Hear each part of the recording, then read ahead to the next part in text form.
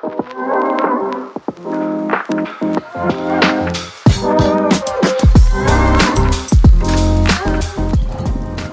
buongiorno a tutti. Passato qualche giorno dalle colazioni nell'hotel quarantena, siamo arrivati a casa, io e mia moglie, Ellie. Saluta, Ellie. Ok, dove stiamo andando oggi? Oggi stiamo andando a quello che è un mega mall, supermercato molto importante qui a Manila. E devo prendermi alcune cose, un paio di ciabatte, la SIM card, vedere un attimino come uh, se ci serve dell'altro per, per continuare. Allora, siamo entrati in questa cosa, guardate rega, è gigantesco, è gigantesco. E ovviamente c'è un enorme settore all'entrata dedicato alle cose natalizie perché perché Natale nelle Filippine inizia a settembre e è molto sentito, è un paese cattolico come vi già detto, per cui così. Poi ovviamente giusto a posto Natale e tecnologia. Questo ovviamente è tutto importato dalla Cina o dalla Corea. Penso che le Filippine per ora non hanno ancora un'industria tecnologica tanto sviluppata. E poi niente, ci sono quintali di, di di settori con qualsiasi cosa mi puoi immaginare. Il padre di eh, mia moglie mi ha detto che è l'equivalente filippino del Costco, che ovviamente mh, mm, eh, chi è stato in America lo sa, eh, per, per, chi come me non è stato in America ancora, però per avere un'idea è una, un enorme eh, supermercato, diciamo catena di distribuzione con forniture di tutti i tipi.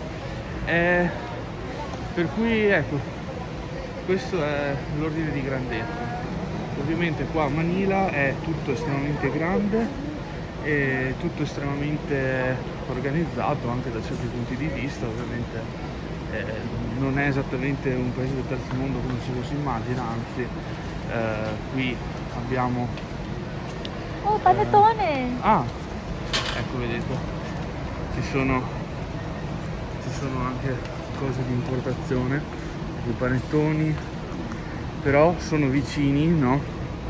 a biscotti a sesamo giapponesi. Questa è anche una cosa molto bella di questo paese, paese asiatico perché ovviamente si hanno questo tipo di, questo tipo di cose. Eh, ma allo stesso tempo no, si trovano comunque cose che mh, mm, matchano ecco, col gusto europeo. E carrello di dimensioni spropositate e a me sembra onestamente un enorme commercio all'ingrosso, qualcosa del genere, in, in lotti di, di cose. C'è anche da dire una cosa, qui va molto perché nelle Filippine fa caldo, la gente tendenzialmente non, non esce se non è necessario eh, perché c'è traffico e dunque compra in grandi quantità eh, le cose, un po' lo stesso, lo stesso, motivo per cui in America tutto è più grande, no? Che poi mangiano, eh, lo, lo, sappiamo tutti, però è nato per quello, il fatto di avere grande, vendere prodotti in grandi quantità. La vedete i Ferrero Rocher, ma questi c'erano anche in Cina, eh? Baci, assieme a altre cose.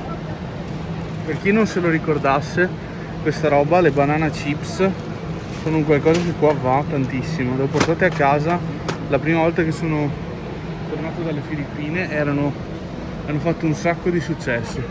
Per cui siamo nella, nel settore schifezze. Dopo questo ragazzi è l'oro. Can I get? Mango nectar. questo ragazzi è l'oro non si trova da noi what did you get? il mio patatine fritte preferito e? and this one is what is this? like peanuts da Corea ah yeah I remember sì sì sì poi l'immancabile all'italiana penne straws lentils of white beans bang questo è tipo il trend di TikTok, no? Della pasta, ehm, della pasta che poi friggono, eccetera, eccetera. Beh, qua vendono anche, la vendono anche in pacchetto. Mamma mia. crab. Cos'è questo? Spiega. I don't know, spicy crab. Granchio, granchio piccante, non Ah, so, non ho mai piccante. provato. Cioè praticamente cioè, è la, la cosa del granchio piccante e poi tipo fritta. I filippini guadagnano qualcosa. Il punto è che non guadagnano abbastanza per avere sempre cibo, diciamo, di, di qualità. Ora adesso cioè, io e mia moglie stiamo prendendo un po' di schifezze, ma non dovremmo avere di questi, di questi problemi. Però è uno dei problemi più comuni dei paesi in via di sviluppo, cioè che la gente non è che muore di fame, però quello che si può permettere sono spesso cibo spazzatura, no? E è un problema che c'è in realtà cioè, abbastanza comune fuori dall'Europa e anche in America. Cioè, chi guadagna poco compra schifezze perché il cibo di qualità, cioè tipo ad esempio il nostro, eh, costa tanto, costa tanto. E infatti si, si- si vedono i dati, in realtà c'è molta obesità nelle Filippine per due motivi. Uno è perché la gente qua cammina poco, prende sempre il tricycle oppure la macchina per andare in giro, eh, perché fa caldo, è anche un po' come status symbol probabilmente, cioè comunque cioè, è difficile immaginarsi andare in giro in bici a Manila. E un altro motivo è proprio questo, cioè che non guadagnano abbastanza per, che so, la frutta fresca o comunque prodotti che per noi invece sono quotidiani, cioè lo stesso pane diventa difficile e dunque si sta vedendo un problema di obesità anche qua e, e questa è una cosa molto interessante perché eh, anche proprio la loro cultura culinaria è basata sul, sul dolce, sul fritto. Per rimanere in tema, questo è l'enorme settore degli scatolati. Ecco, mia moglie è contenta perché finalmente... di spam. Vedete che roba? Lo so che questo può fare inorridire. Sodio. Guarda. Ah sì, que- sì, questa perché ha less sodio, non è... Non è Ecco. non- eh, 25% less sodium. Mm. Cioè praticamente non è che non ha sodio ne ha meno, perché così le Anche arterie ti si ostruiscono. Ah, certo. Ovviamente sapete già la storia dello spam, eh, si chiama spam anche quella della posta elettronica perché avevano fatto questa enorme mailing campaign, la gente si trovava. Questo. Ecco, queste Salsiccia sono cinese. salsicce cinesi, ma queste sono già un po' più sane, sembrano già un po' più sane. Sì. Mm. Poi ci sono le Vienna sausage, vediamo. Vienna sausage sono i nostri Wustel fondamentalmente. Però qua lo vendono, vedi, in queste confezioni da, vedete? Da 18 lattine. E perché appunto cosa c'è di meglio di una colazione con salsicce di Vienna, dei Wustel. Eh, e poi poi altra roba questa che roba è?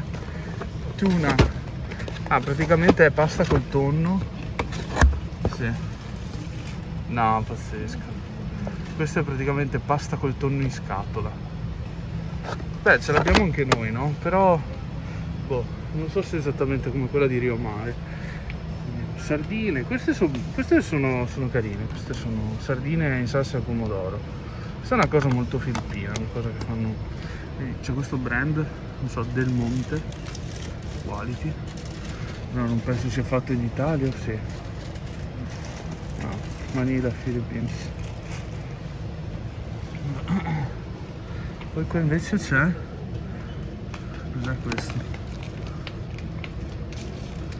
Queste sono sardine sempre. I filippini vanno matti per le sardine, guardate il rapporto di mia moglie con la salute. ok? Però la lasciamo fare. Deve lavorare oggi pomeriggio e lei se non ha le chips non produce. Se non produce non mangia altre chips. Vero? Sì. Guarda qua, intanto il nostro carrello di roba si sta riempendo. Cos'è questo? Papà. Eh, È roba giapponese, eh? Ecco, la cosa, la cosa figa, la cosa molto bella di questi posti è che si trova eh, molta roba giapponese e coreana. Perché non si trova roba cinese in realtà. Cioè poca comunque, non, non- esportano dalla Cina qui, non importano dalla Cina qui alimentari perché il gusto è abbastanza diverso, cioè in generale e poi perché comunque le Filippine sono affiliate molto di più ai brand occidentali, soprattutto per quanto riguarda diciamo, le cose di uso quotidiano, poi l'hardware eh, e l'infrastruttura eccetera eccetera è estremamente sino-dipendente. E, sì, io vi do un po' di, di- di- di insights eh, su come funzionano le cose qua attraverso i prodotti che, che sto vedendo, eh. però quello che vedo sì è un, un paese che comunque è più legato all'Occidente dal punto di vista proprio della, eh, dei gusti e un po' anche della cultura, ecco per cui insomma qui abbiamo vedete il Nesquik eh, e quant'altro, connesso nella globalizzazione come non mai. Cioè loro vogliono i soldi dei cinesi ma se potessero sarebbero americani o, o quello che è. E, ma anche orgogliosamente filippini da tanti punti di vista, devo dire. Oh, questo, questo non so se è arrivato, ancora, se è arrivato già da noi perché Starbucks sta prendendo un po' di piede. Oh, qua va tantissimo, no? Vedete anche loro, eh, Starbucks sta facendo sto merchandise. Oh, espresso italiano, lavazza, pazzesco. Cioè, vedete? BTS. Eh, È una fan. Vedete? Vendono l'espresso italiano. Allora, questo cos'è? Vedete? Ha un, di un chilo. Praticamente la polvere, quella che noi mm, diciamo usia- usiamo, quella si vende sottovuoto, no? E qui la vendono in pacchi così. E io penso, ma non sono sicuro, ma me lo spiegherete anche voi se lo sapete, che sia perché il format, beh, che siamo praticamente SNR che fa diciamo tutto in format gigante, però è anche proprio come il caffè viene venduto qua, cioè vedete è tutto uguale e dunque probabilmente la lavazza giustamente per adattarlo al gusto filippino l'ha, fatto così, l'ha fatto nello stesso packaging eh. Poi qui abbiamo, ecco questo ad esempio no, questo è giapponese ancora, è caffè giapponese, ma dai, caffè giapponese ragazzi, caffè giapponese, suona tutto molto come sollevante qui quando si parla di roba figa, ci sono sempre loro di mezzo. Ah, olio vegetale, perché qua si frigge. Tutto quanto. Olive oil, boom, roba, organic, non organic, taniche di olio d'oliva. Adesso, adesso ah, qui dicono anche, questa è la bandiera italiana, c'è la bandiera italiana, Oh my god. la bandiera statunitense, quella è una tanica di olio, però non è olive oil. No, vegetable oil. E vedi, è quello proprio il brand, è il brand del, di SNR questo qua. Cioè olio per friggere in queste quantità. E questo è per uso domestico, eh? Domestico, pazzesco, pazzesco. No, ma tornando a questo extra virgin, devo capire, Romuli. Non riesco a vedere se è fatto in Italia o no, ma c'è la bandierina, probabilmente sì. 999 pesos, Ah, costa parecchio. 999 pesos eh, sono circa 30 euro, una cosa così. Sì, sono circa 30 euro. E poi volevo farvi vedere qua. Questo è pazzesco ragazzi. Questo è mo pazzesco. kayo doon tayo kung gusto ng È pieno di salse, questa è proprio America pura. È pieno di salse di tutti i tipi. Guardate il ketchup, guardate il ketchup, bang. Ketchup in tanica. Ketchup in tanica ragazzi. Sauce di soia. Eh beh, tuyo, tuyo. Anche aceto bianco. E aceto per mangiare, non per pulire. Ah, vedete? Yellow mustard. Eh, qua, cioè, devo dire, io lo so che fanno male queste cose. però vederle anche solo così cioè, ti dà proprio l'idea che cioè, come consumano i pickles giganteschi ah li avete compresi guarda che roba pickles giganteschi tabasco Ah, ah. Sì, sì, poi qui si va avanti con delle cose forse, e queste sono già quelle asiatiche, golden curry, curry sauce. Cos'è ABC? Sweet sauce. Però la vedo dappertutto sta ABC. Oh my goodness. Cos'è? Questo a Roma costa like 20 euro. Mhm. Qui solo 3 euro. Ed è più grande. Sì. E qua cosa abbiamo? Eat good fat. Eh certo. E questo sarebbe Ancient Organic. Boh. Ancient Organic ghee 100% organic ghee good fat. Ci crediamo, ci crediamo. Assolutamente. Olio di avocado. Crisco vegetable. Sì, insomma un po' di cose. Ecco, invece questo questo mi interessa molto di più di tante, di tante salse maionesi pickled mango, cioè mango sott'aceto. Eh no, beh ragazzi, cioè questo me lo sparo. Cioè, voi dovete capire che insomma il mango per me cioè, è uno stile di vita. Qua il mango è uno stile di vita. Ecco, ti è. Assieme alla spam. Poi volevo provarla perché la ranch che gli americani ne parlano un sacco da noi insomma non l'ho ancora mai provata e mi sembra carina e, e non esattamente grassa per cui ci sta siamo al banco frutta e non è tantissimo eh cioè meglio noi secondo me ne abbiamo molta di più però comunque banane vedete sono piccole cioè sono piccoline e qui vanno tantissimo questi, hanno solo questo di tutte. Poi cocomeri, cioè eh, oggi ne abbiamo, quanti ne abbiamo? 29 novembre, eh? Questo giusto per farvi un'idea insomma. Poi gli immancabili papaie, queste sono buone, meloni come se piovesse, papaie, no, non so che cavolo fossero quelle. Ah, no, fermi, vi ho detto una schifezza, una cacchiata. Watermelon. Watermelon. Queste sono angurie gialle. No, vabbè. No, vabbè, pazzesco. Angurie gialle non le avevo mai viste, davvero.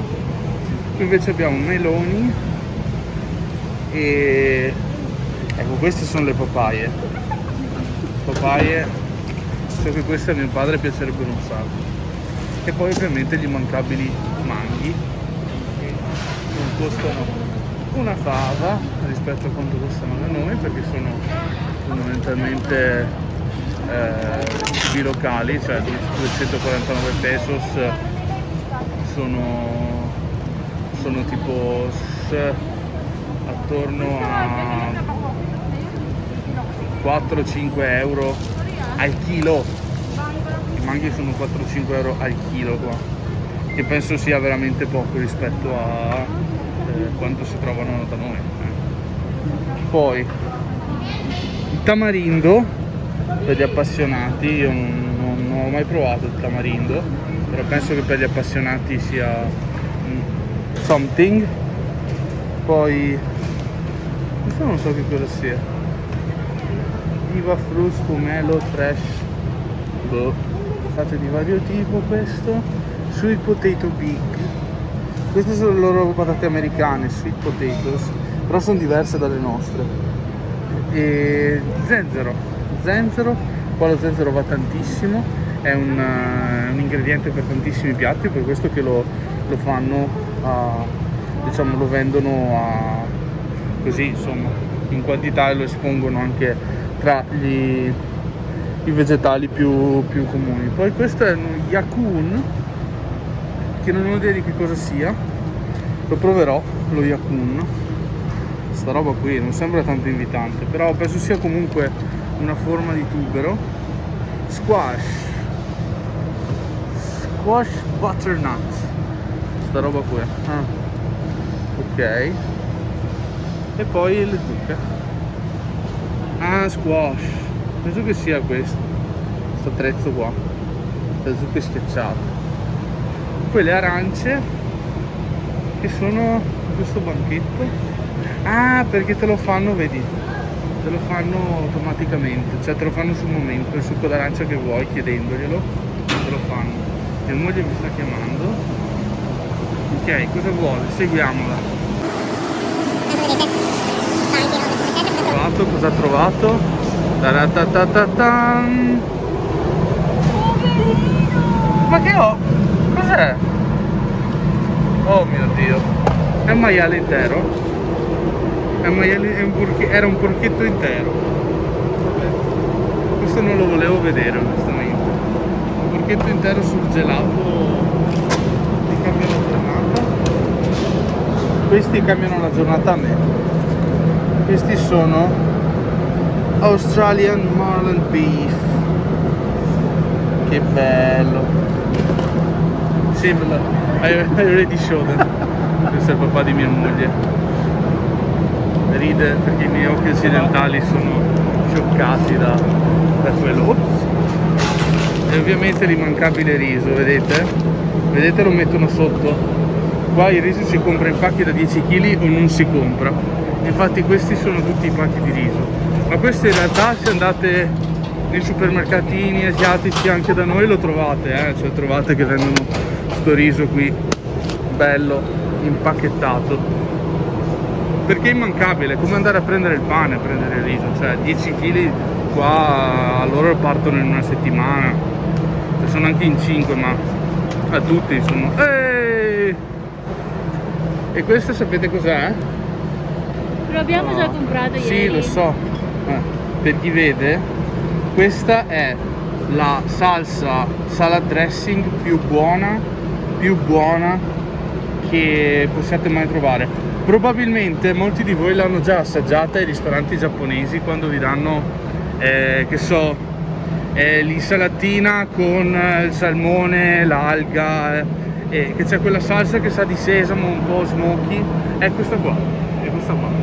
Mia moglie ha chiesto al policeman se può portarci nel posto dove, dove hanno la pasta così ve la faccio vedere. E lui ovviamente ha consentito in nome della legge.